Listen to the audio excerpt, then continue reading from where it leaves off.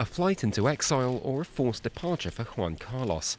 Amid a corruption scandal, the royal household published on Monday the former Spanish monarch's intent to leave the country, and a day later the Prime Minister indicated it could well have been the current king, Felipe VI, who pushed him to go.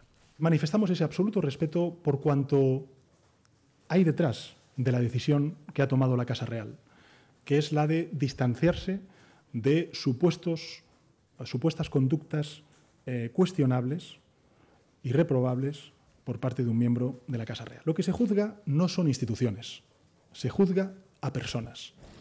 Juan Carlos abdicated in favour of his son in 2014.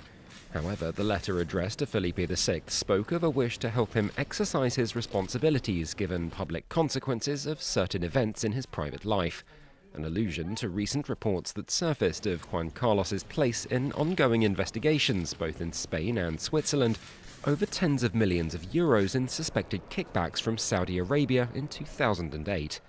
For analysts, it's a matter of the current head of state moving to protect the institution as he has in the past.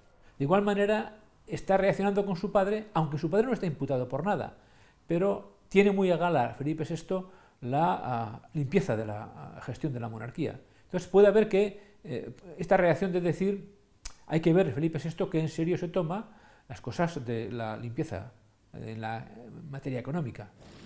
For now, the palace is saying nothing over Juan Carlos's whereabouts, despite fierce speculation in local media.